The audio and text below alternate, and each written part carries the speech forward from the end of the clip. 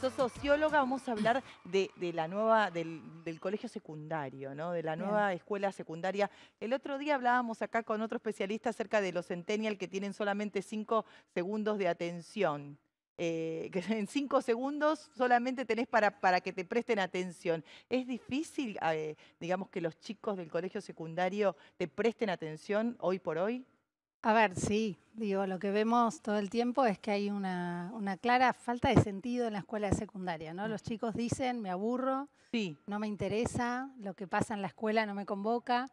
Eh, y estos son los temas que preocupan, y preocupan porque después los resultados nos muestran que efectivamente los chicos que sí están en la escuela, que logran eh, acceder al, primero al primer ciclo y después al segundo ciclo, incluso los que están en la escuela sabemos que no, no terminan aprendiendo lo que esperamos. Claro, termina como siendo eh, la, universidad lo que realmente encamine a los chicos. Después, o sea, es muy difícil que continúen, que terminen la escuela. Hay un alto grado de deserción en la escuela secundaria. Exactamente, los datos nos muestran que uno de cada dos chicos termina la escuela secundaria antes de los 20 años. No, pero esto a, de los 20 años ya es tardísimo porque a la, velocidad que va el mundo ya es alguien muy grande. Alguien exactamente. ¿Y por qué también a los 20? Porque hay mucha sobredad, chicos que repiten en el camino. Y la repitencia, la sobredad, el no terminar la escuela, el abandonarla, tiene que ver, sabemos hoy, también cómo, cómo es la escuela. ¿sí? Siempre se habla de los problemas socioeconómicos, de los, lo que nosotros llamamos los factores extraescolares, ¿no? las dificultades que tienen las casas los chicos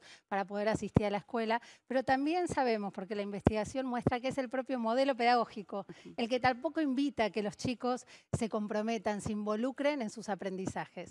Entonces, y ahí me iba a meter, porque uno pone el foco en los chicos y también hay que poner el foco en los maestros, cómo están capacitando estos maestros para eh, hacer más entretenidas sus clases, para que los chicos estén preparados para lo que viene. Tal cual, tal como lo señalás, uno de los, de los cuellos de botella es la formación docente, porque hoy los profes son los profes que se siguen formando como se formaban nuestros profesores, los profes de nuestros padres, para esa escuela fragmentada en 10, 12 materias, donde el conocimiento que es eh, sistémico, integral, se fracciona. Entonces, en una clase te enseñan historia y en otra clase te enseñan quizás algo semejante temporalmente, pero todo lo relativo a la geografía y en otro física y en otro química, cuando sabemos que hoy el mundo y el conocimiento aparece hacia nosotros integrado. ¿no? Entonces esta falta de sentido y esta falta también de los profes de cómo abordar estas otras formas de enseñar y aprender, generan en el, en el aula muchas veces un vacío, ¿no? Profes enseñando, chicos conectados con el afuera y no con el adentro de la escuela.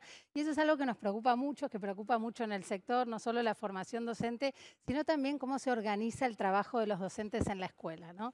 Esto de que un docente va, tiene clases y se va, es habla de un docente que tiene, digamos, una mirada también fragmentada respecto de ese grupo de estudiantes. o tienen más de una escuela para poder juntar un sueldo del Igual que vivir. la problemática es mundial, si bien más allá de todos los factores que tenemos acá en la Argentina con respecto a los problemas de deserción y la, situación socioeconómica, el tema de, la crisis eh, en las escuelas secundarias es como un poco mundial. Exactamente, y muchos países ya están cambiando. Y un poco la agenda que nosotros llevamos es cómo pensar la transformación de la escuela secundaria secundaria para hacer una escuela que sea relevante para los chicos hoy, los chicos y las chicas del siglo XXI una escuela que logre enfocarse y proponer resolver problemas, problemas sistémicos, desde una perspectiva también multidimensional. Hay, hay un problema con tu micrófono, no te van a arreglar algo del micrófono y no hay problema. Vos seguís contando que no importa.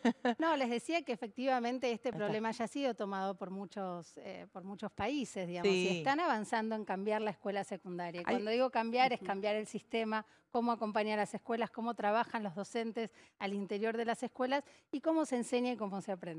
¿Hay algún modelo este, que, esté funcionando? ¿Hay algún país donde eh, uno pueda decir, apuntemos a que nuestra educación se parezca a esta en términos de esto de la horizontalidad, de la inclusión de todos los temas?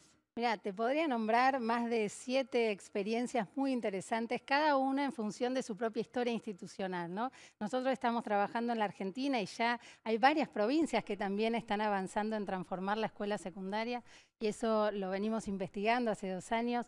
Este, mirando estos casos provinciales, puedo nombrar a la provincia de Córdoba, Río Negro, Santa Fe, la ciudad de Buenos Aires mismo, que empiezan, Tucumán, donde estamos trabajando fuertemente, a probar otras formas de organizar la escuela secundaria y enseñar. ¿Cómo? Como por ejemplo... Por ejemplo, trabajar eh, con proyectos basados en la resolución de problemas, ¿sí? No ya en la tarea o en las clases expositivas donde se espera que los estudiantes escuchen a los profesores, tomen nota, saquen las ideas principales y después ir a una prueba igual para todos a mostrar cuánto de eso que dijo el profesor se acuerdan, sino involucrarse en experimentar, en producir con el conocimiento, no solo investigar para acceder a distintas fuentes de información. Con las herramientas ¿no? que ahora tenemos. Es como difícil, qué sé yo. Yo soy de la época en que íbamos a la biblioteca. Hoy por hoy eh, hay una realidad, eh, sobre todo en las ciudades, qué sé yo, que donde todo se googlea, todo se encuentra mucho más fácilmente. Entonces, a partir de ahí crear, ¿no? Estas cosas de, ah. viste, la eh, eh, información está.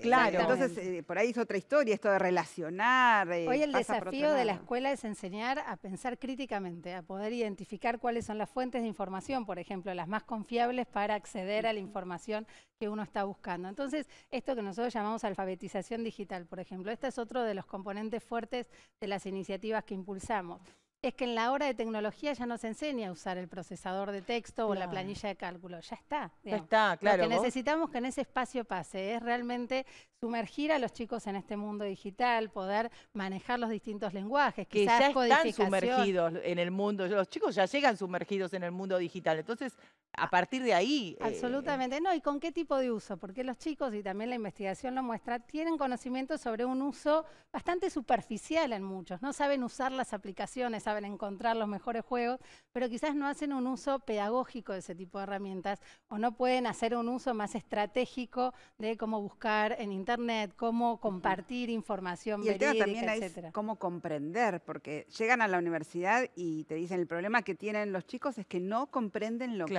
Entonces vos decís, querés ir a la de máxima y todavía los chicos tienen un proceso que se obvió en el secundario. Exacto, porque ese es el tiempo y el espacio para aprender. Y en algún punto también lo que esperamos esperamos es que la escuela sea contracultural también, en el poder apagar algunas pantallas para poder ejercitar con distintos recursos y fuentes y tecnologías. De hecho, la escuela está llena de tecnologías y poder realmente ejercitar la oralidad, la comunicación, la comunicación escrita, la comprensión de textos, de textos complejos. Eso se aprende y se aprende en la escuela, en ese tiempo de todos los días a clase, donde también se aprende cuando uno está interesado, ¿no? Y ese interés se construye, decimos, ¿no? La sociología de la educación lo ha investigado muchísimo. Ese interés no viene, los chicos solos no están interesados, son los profes, es la escuela que tiene que motivar, generar espacios de interés, de creación, ¿no? Y esto que vos señalabas, crear, que los chicos estén involucrados en el hacer, sí. ¿no? Eso realmente te involucra de otra manera. Mira, la experiencia que tengo con las escuelas secundarias de la nueva era quizás es que cuando hay un profesor que eh, justamente motiva a los chicos a investigar, quizás la escuela lo, lo termina expulsando ese profesor, le termina poniendo como palos en la rueda, ¿no? Por ser distinto. Por ser distinto. Bueno, una, escuela del siglo XXI tiene que potenciar, garantizar que haya muchos de esos profesores en todas las escuelas, porque lo cierto es que hoy también todos tuvimos buenos profesores. ¿Y quién era el buen profesor? El todos que tuvimos buenos y malos profesores. ¿Viste? Esos profesores que están dando clase adelante y vos estás en otra. Tu mente te fue a cualquier otro lugar. Ah. ¿Qué dice? No tengo ni idea lo que está diciendo. eso me parece que suele ocurrir demasiado seguido. No debiera, no debiera porque ese tiempo es único para los chicos, para la vida de los chicos y las chicas. Nosotros salimos de la secundaria y hoy sabemos que no solo necesitas el título, necesitas todos esos aprendizajes y todas esas herramientas para realmente poder construir tu proyecto de vida. ¿no? Ahora, ¿cómo se hace para implementar todo este cambio, este proceso, cuando los chicos pasan años en los que tienen 30 días menos de clases y, esto digo, se va interrumpiendo a lo largo del año? Todos estos procesos eh, hay que empezar con la adaptación más o menos eh, eh, continuamente, una vez este, tras otra. Digo, ¿cómo, ¿cómo se...? Bueno, sin duda la interrupción de clases es, es nocivo siempre, digamos, porque obviamente las planificaciones requieren de ciertas continuidades. Yo creo que justamente esta otra forma de encarar los procesos de enseñanza y aprendizaje tienen que abrir una batería de alternativas. ¿Cuándo? Porque a veces es por falta, por paros, obviamente, y son problemáticas que los adultos debiéramos poder resolver de otra manera para no perjudicar a los chicos y a las chicas, pero es cierto que puede haber inundaciones, puede haber una situación de salud como la ha habido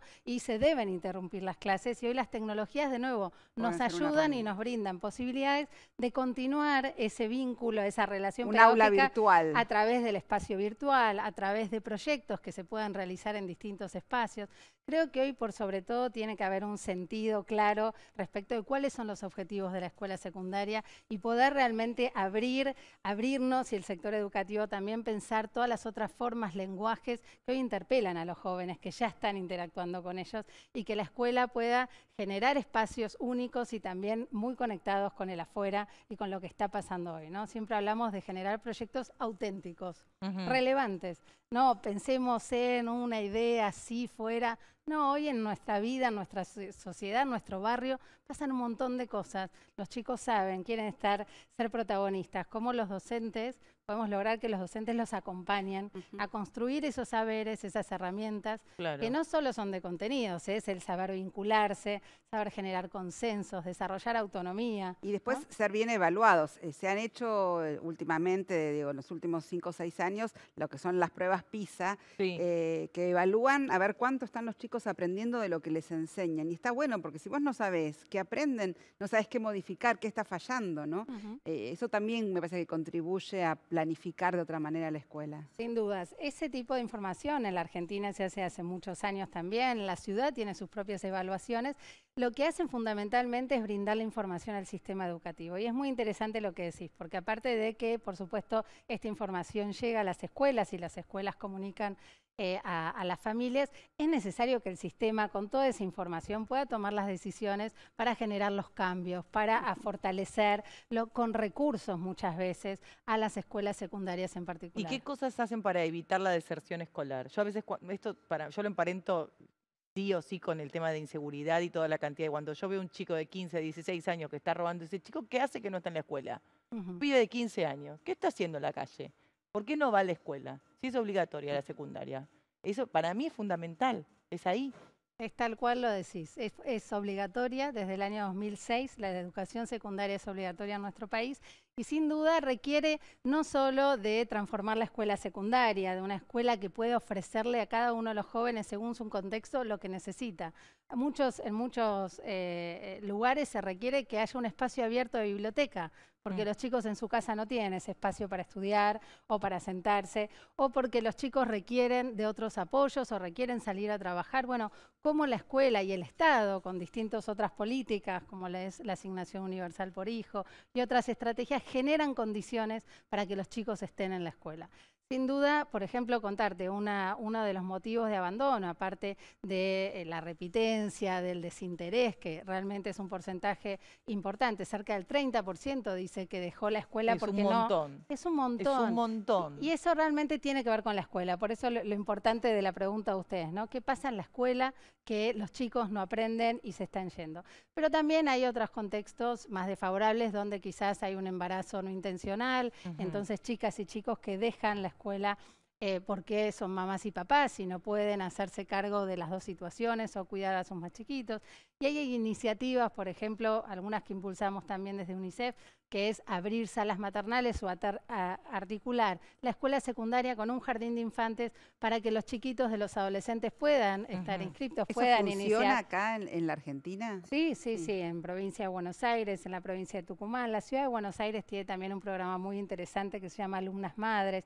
Es decir, cómo el sistema y el Estado acompaña a los adolescentes en garantizar que tengan la posibilidad de estar en la escuela y con los que ya no están, los que dejaron la escuela hace un tiempo, que es más difícil decir, ¿por qué no vas a la escuela? Claro. Muchas veces volver a la escuela de la que se fue es muy difícil y ahí hay estrategias distintas de generar lazos, a veces no a la escuela tradicional como la estamos pensando, sino a otras alternativas donde los chicos puedan aprender oficios y después terminar la escuela secundaria. O sea, cómo construir esos puentes de vuelta para garantizar el derecho a la educación que es lo que efectivamente el Estado nacional y provincial tienen que, tienen que hacer. ¿no? Claro, claro. Uno de los temas era, eh, cuando, bueno, en mi época, viste, era cuando vos te llevabas una materia, te llevabas la materia completa. Hoy los chicos tienen un montón de, yo creo que era para evitar eh, justamente que, o que repitan o que abandonen. O sea, hoy tienen un montón de alternativas ah, para dar esa materia yo no dejo de sorprenderme, ¿cómo vas a rendiste mal? Uy, ahora ya está. No, no, había otra oportunidad, les dan como muchas oportunidades, eso sigue existiendo. Sí, sí, de hecho lo que estamos discutiendo es la repitencia, ¿no? ¿Qué valor tiene la repitencia? Los datos muestran que los chicos que repiten muchas veces vuelven a dar mal materias que habían aprobado. Es decir, esto de hacer que un chico repita de año no tiene ningún valor pedagógico para ese chico o chica y tampoco contribuye socialmente a su vida diaria, pues muchas veces son bastante conflictivas, digamos, y, penosas para la familia que su hijo repita o no repita. Lo que está, lo que se estuvo tratando, esto que vos señalás, es de flexibilizar un poco estos, estos procesos. Y lo que se sabe, y hay buenas experiencias a nivel internacional, es que justamente lo que en la escuela tiene que hacer es acompañar estas trayectorias educativas de la manera más continua, digamos, ¿no? Que sea un flujo, mm. digamos, y donde los chicos puedan ir, obviamente, reponiendo los aprendizajes no alcanzados, pero en un contexto con varias alternativas. Claro. Bueno, Cora, muchas gracias. Es súper interesante este tema y nos preocupa. Para mí es la base de todo. Es como, eh, es, es lo más importante, la educación, los chicos, los chicos tienen que estar en el colegio y ahí eh, si trabajara el Estado realmente seriamente y, y, se continuara en el tiempo ese trabajo, me parece que se solucionarían un montón de problemas que tiene nuestro